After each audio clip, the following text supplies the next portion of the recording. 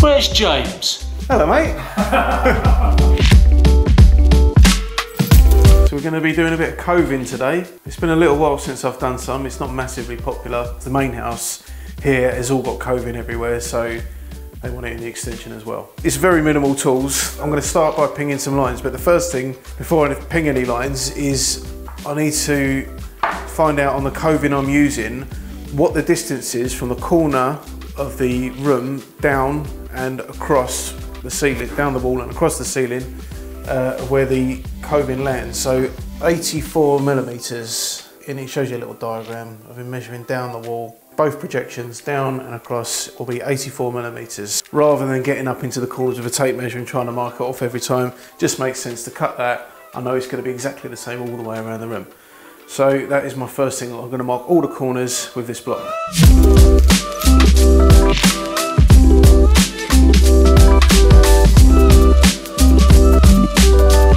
With my drill and my screws, I'm just going to put the screw at the four points here in this corner and in the opposite corner. I only need to do it in those two corners because I can tie a chalk line to that end, Can walk to the other end with it and hold it and ping it. So I need to do it opposites. That's, then, that's all you need to do, then they can come out and they're done away with. And we don't need them later on either, because a lot of people think you stick it up and you have to put a nail or a screw underneath to hold it in. We don't need to do that. I'm just going just into the plasterboard. I don't need to go too deep, it's just literally to hold the line. And also if I keep it on that side of the line, once the, once the coving goes on, it fills that hole up as well, you don't see anything. So I'll just pull that screw until I know that that line's in line with my mark.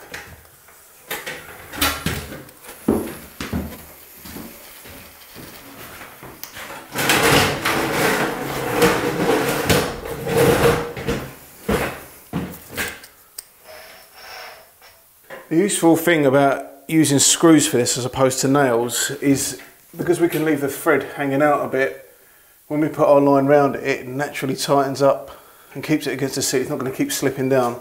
So when I start walking off down there, it's not going to end up two inches away from the ceiling.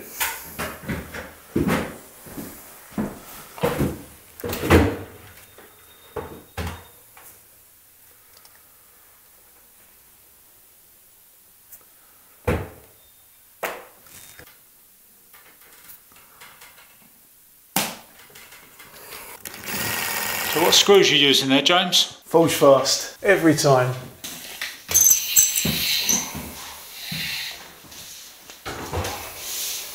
There's a reason for this big awkward manoeuvre. And it's because what you'll find on all coving, it'll be marked on one edge. So here, that's upside down for you, but it says ceiling edge. And they've always got to be the same way. So we'll always keep that to the ceiling. If you, if for any reason you've accidentally cut it upside down, you've got to keep them all upside down. But whichever way you do it, you've got to keep them all the same way because there's a fraction of difference in the in the cove, and it, it just won't match up properly on the corners if you don't if you switch them around. So I've got that whole pack ready. That's all sealed up, and I know that they're all the same way. I've been for a few packs already, and I've checked them, but I will still check every time I take one out. But what I want to do is have this piece of coving in front of me and I know that the edge furthest away is the ceiling edge and I'll always work with that in mind. Uh, which brings us on to our, this great little tool. There's a couple of different ways of uh, cutting coving. You can buy a coving mitre box. I have actually got one. I should have brought it up to show you what it looks like, but it pretty much looks like a mitre box, but it's a lot flatter. The coving lays flat and you've got to cut the saw on an angle similar to how you do this. But I prefer this, this method, number one, because it's cheaper, 10 quid, which is great, you know, I'm quite tight, so that's good. And also, I find it a lot more accurate. And if you do, for any reason, have your corners are slightly in or out, this is so easy to adjust slightly. So if I, I it just lays on the, on the cornice like that, literally it tucks over that corner there and there, and if you've got the smaller cornice, the 90mm one, then it fits on those parts there. But say for example, I've put that on there and our saw runs nice, it runs down that If our corner was slightly out and I needed to, if I offered it up and there was a gap of say five millimeters at the top and it was touching at the bottom, I can put that piece back on there. If I know I've got a five milli, five millimeters to come in there, I can just literally move that around like that, hold it in position, and then recut it like that. It's so easy to do. It's just, it's just ideal for it. It doesn't take up any space in the van. You know, can tuck right in the corner. Make sure you get the metal one. They do a plastic one as well, but that's just a bit flimsy. You've got to go for the metal one. You need a little bit of pressure on that just to hold it in. It pushes very slightly into the into the board itself. And I like to keep my finger against the side of the saw blade. No pressure on it, just let the saw run through, keep it leaning, just keep pushing it backwards and forwards and that's it.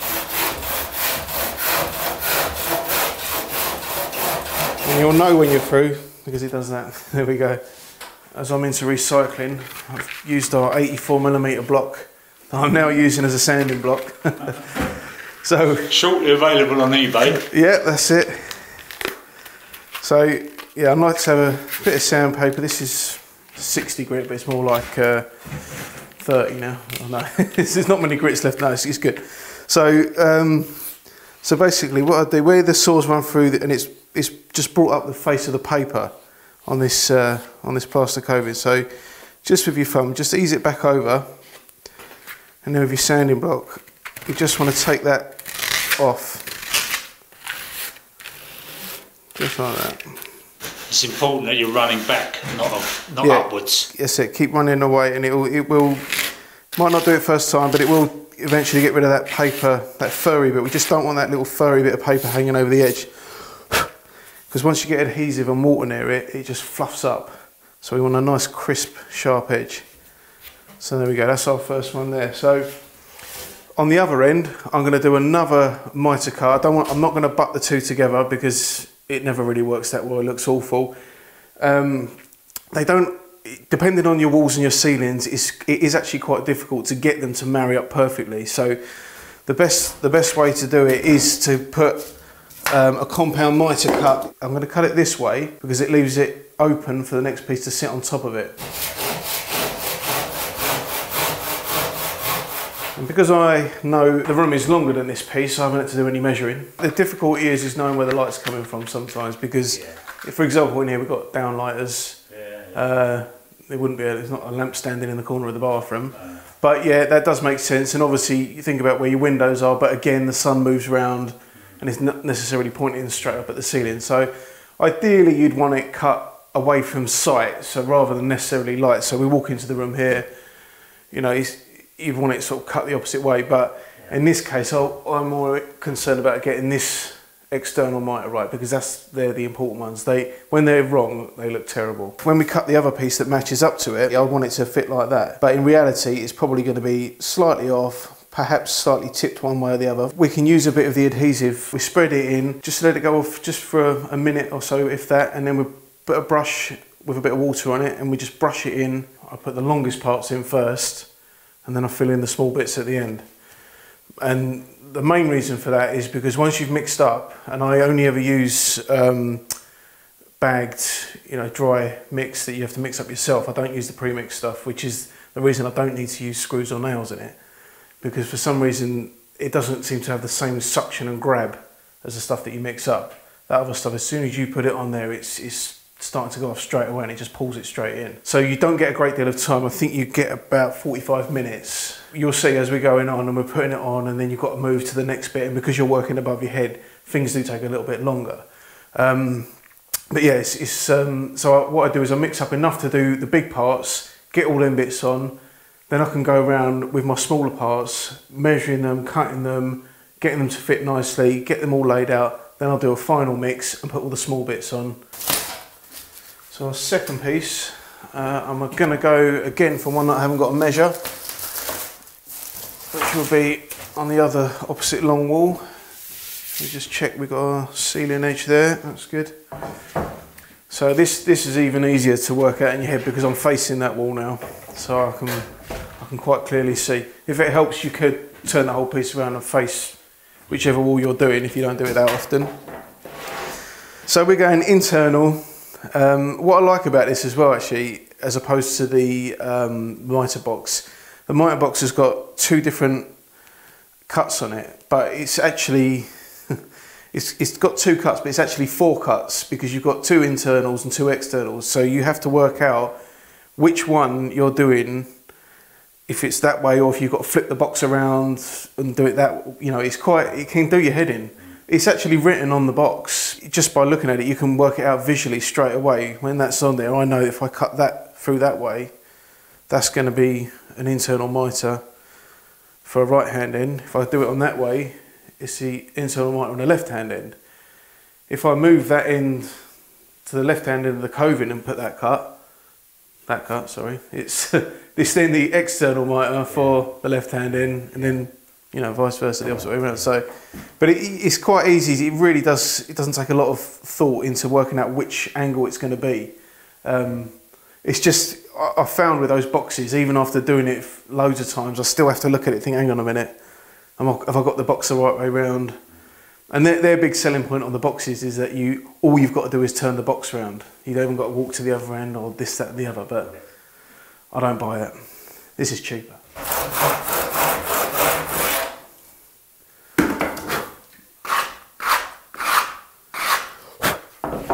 We're going to do it as though we were cutting into two internal corners, but that will be our compound mitre for our piece to join on. If you're pushing too hard, it's wrong. You, you end up going all over the place. It's nice and easy to cut, it's a soft material.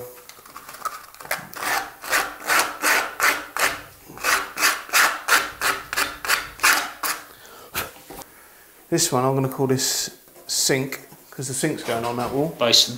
Or basin. You're right, actually. We're not in a kitchen, are we? We're in a I'm bathroom. a plumber, mate. I'm Sorry, a plumber. mate. There's Sorry. always that sink basin argument. That, Basin. Oh, hang on. Sorry, no. Double basin. Oh. So, so that one, we'll call this one window then. Two, four, six, eight. We appreciate Right, two, four, six, eight. I'm not going to cut it to that. It's a little bit too tight. That's the actual tight measurement, but um, because what you've got to remember is when that piece goes on and that piece goes on, they've got a bit of adhesive behind them. You know, anything up to three or four millimeters, depending on how bad your wall is. So, what I generally do is I'll probably knock about four mil off, maybe five mil because I like to keep them tight. I mean, I know these walls are good, so I'm probably getting away with about two millimeters of uh, adhesive behind. So if I take five millimeters off, then we're covered. And if there is, you know, a slight gap when we put our internal miters together, again, we can fill that with um, the adhesive and we can brush it in. You know, we're going to be pretty good because I'll, I'll show you again when we're doing uh, cutting our small pieces against that one. I've got a lot of room to adjust it. I can cut a little bit off until it's right, then I can get my other mitre right, but we'll see that a bit later. So, so again, we've got two uh, internal mitres and our ceiling edge there.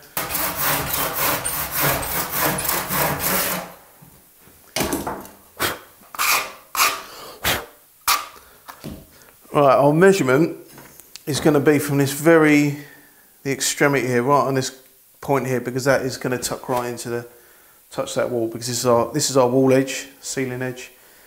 Wall edge that's going to be against the wall, so I'm measuring from there, and my measurement is going to be to the opposite end.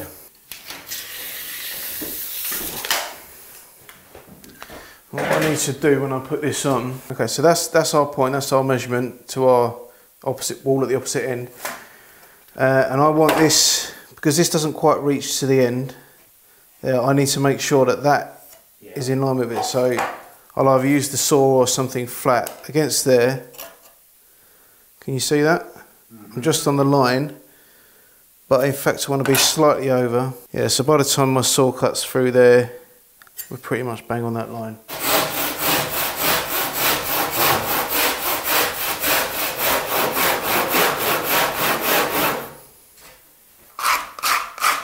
Should keep a bit of sandpaper at either end really, shouldn't I? Save me a bit of time. Right, so because this one is cut between two fixed points, I'm just going to try this one dry. Okay, so that's in there. How far are we off of that? So now we're going for the last big cut, uh, which has got an internal and an external, and it's measured. Two, one, three, six. Right, two, one, three, six. Now in this case, I'm not going to take anything off. In fact, I'm going to add a little bit. Because the reason I wouldn't take anything off is because the amount of adhesive that's on the piece on that wall is obviously going to push it over a little bit, but that will account for the amount of adhesive that's going on here, which will push that one over a bit as well. But what I'm going to do is I'll probably, I'm going to add one millimetre because I'm feeling generous. So I'm going to make it 2137. And what it means is when I come to put this piece in, I've got a little bit of play. If it, you know, if, if I need to adjust that slightly, if that's not 100% 90 degrees there, I've got a little bit of adjustment. I've probably got up to about three millimeters by the time I've added that one. What if your corners are not at 90 degrees? Now I'm talking about a 90 degree corner that should be, but is mm. maybe five mil out, say. Well, it's the the good thing about coving over skirting is that it's such a soft material, and it's a lot more forgiving uh, in situations like that. So, you know, if the worst case obviously if, is if your your 90 degrees is open and then you've got a great big gap, you can trim it right down, take the back right away until until you've just got a front point touching. So if, if it meant the top and the bottom touching to start with, and then you can make it up with adhesive in the middle, you can get a small tool, brush, water, you just keep working it. And even if it comes down to, if it's getting too much, walk away, let it dry, come back the next day with some filler, bit of sandpaper. You know, it's, okay, this we're not talking about professionals, so don't, don't start slating me for saying stuff like that. We're talking about homeowners that want to have a go. Yeah. So, you know, it, it's not it's not always going to work first time, and you know, nine times out of ten it doesn't work first time, um, especially if it's something you're not used to doing. But with this stuff, it, it, like I say, it's very forgiving, and then you've got loads of options afterwards. If it doesn't quite go to plan first, as long as you've got the bulk of it, you know, up right and the corner's a little bit iffy, you can work with it a little bit. In this case, I'm going to cut the internal mitre first because it will help us with measuring. I'll show you why. So this is our internal mitre, which is going up to the right hand side there, which is coming across to an external mitre. And I've cut that one first because it's going to make measuring it a whole lot easier.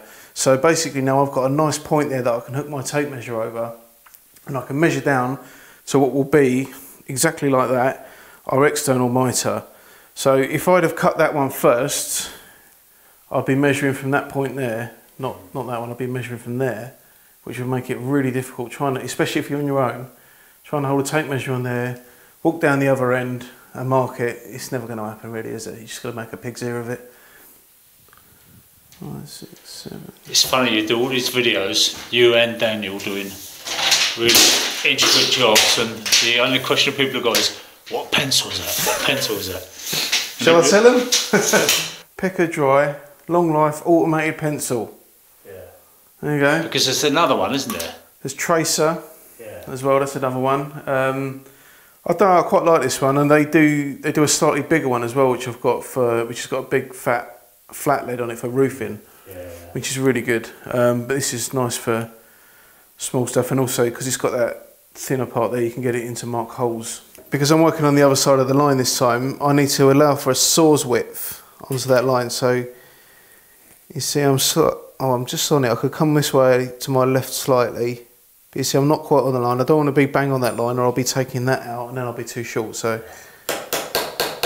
So probably enough to get a saw blade down there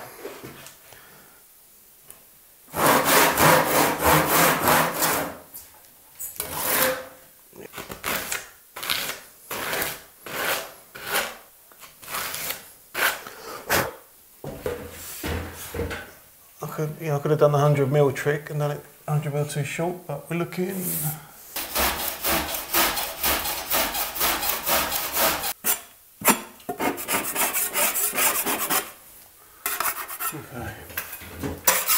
Right, we're going to cut our small bits in now. Now we've got the bulk of the room done. Now all the big stuff's up, we can relax a little bit more than we were relaxed already. We're going to relax a little bit more now. So we're going to just take some measurements because they're nice and short, they're easy to measure, you can be more accurate rather than trying to struggle with a tape at, at length. I'm going to measure them and I'm going to cut them at pretty much the tight measurement. One at a time, I'll go back round and I'll offer them up and then see if there needs any adjustment on them because they're going to be slightly long measuring them tight so we, we can cut a little bit off and that's fine. So we'll do all of them one at a time. Once we're happy that the joints are good, they're going to work nicely, then we'll mix up and it's just a case of sticking those last ones on. Our light's running out of battery there.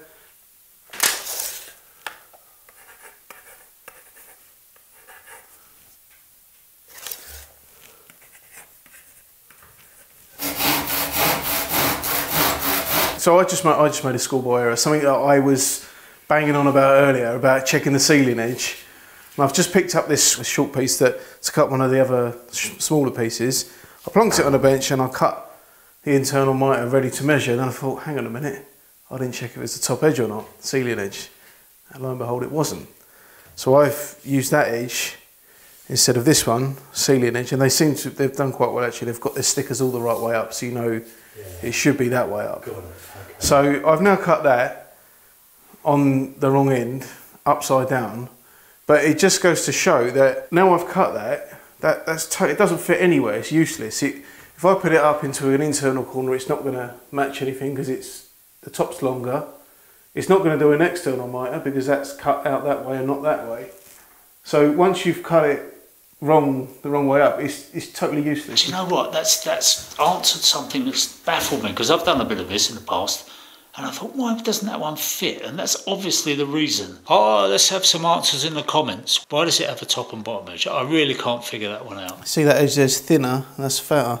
They look so similar, but you cut that miter and they just don't match up in the corner at all. It's funny.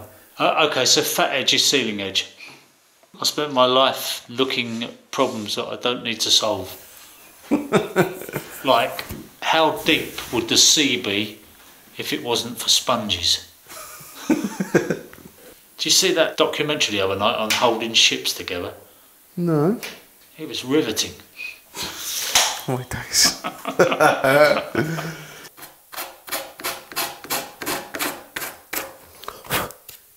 this wall's slightly out there. Could just be a plaster issue.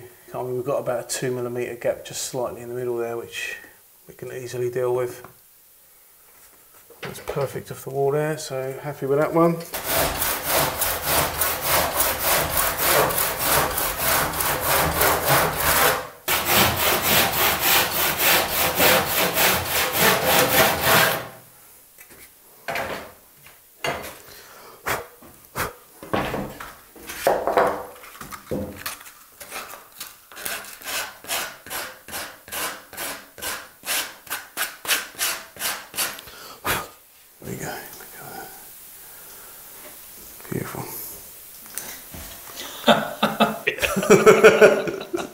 It's perfect. Bit small. Yeah, you'll get into those, mate. I think I'm happy with that.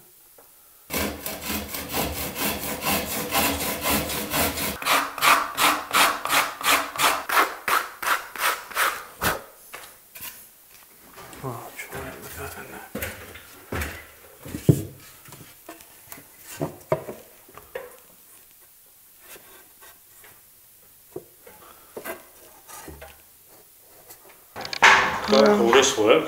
Point, pointing the camera at people. Harder than it looks. Makes you lazy. Well, I, I found out how difficult it was when I had a little go at it. yeah, you chose the hardest thing, though, sitting on a bloody scaffold pole. oh, I like a challenge, what can, what can I say?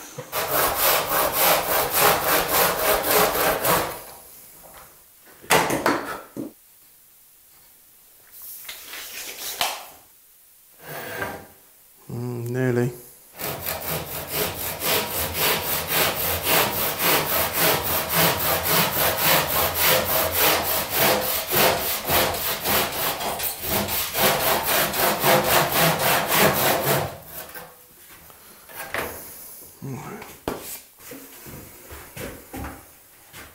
Okay, so we're open at the bottom there about four or five mil.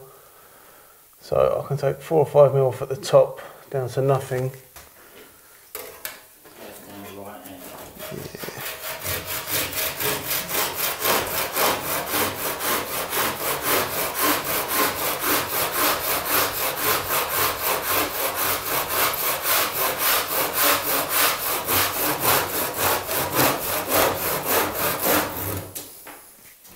Like I say, you do that in a mitre box. Exactly.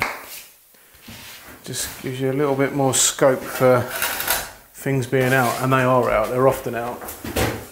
They're always out.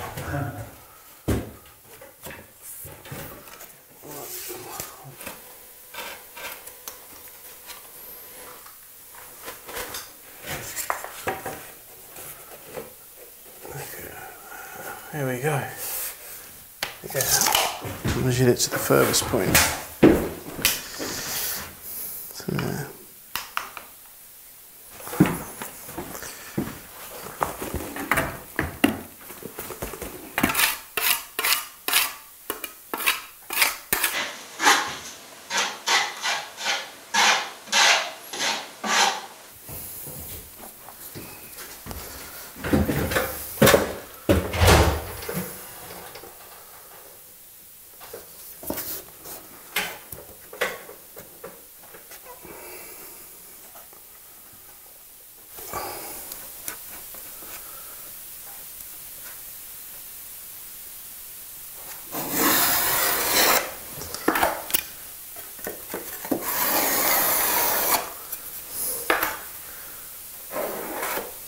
Proud we'll brush that up in a minute.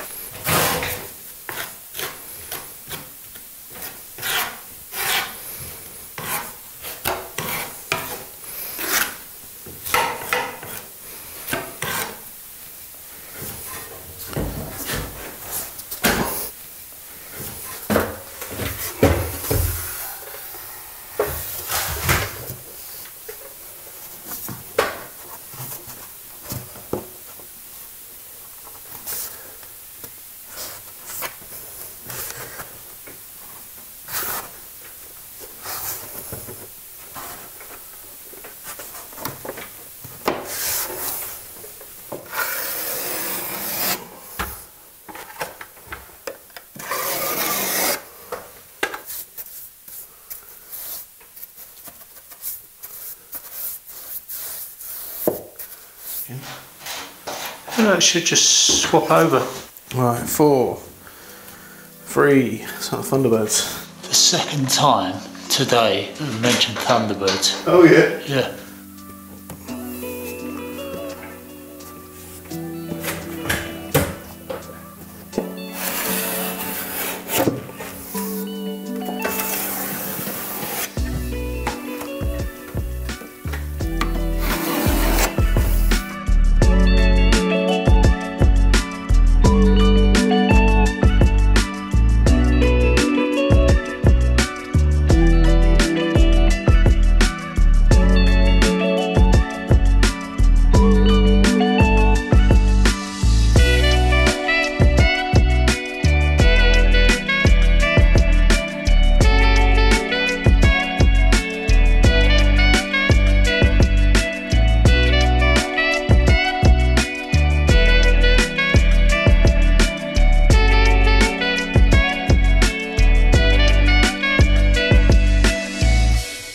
So that's it, mate. That's it, that's the unofficial way to put Covin up. Good afternoon's work, yeah, again. And it's Friday. You're Yeah. going off to the bosom of your family, yep, and a nice cold beer. and I'm going digging a cellar out. Well, you bring it on yourself, mate, what can I say? Stop offering. My daughter, what can I do? yeah, no, it's a shame, isn't it? Yeah, you've got a few kids, mate. I know, I'm, I'm dreading the day that it comes. I'm trying to retire before they've got their own houses.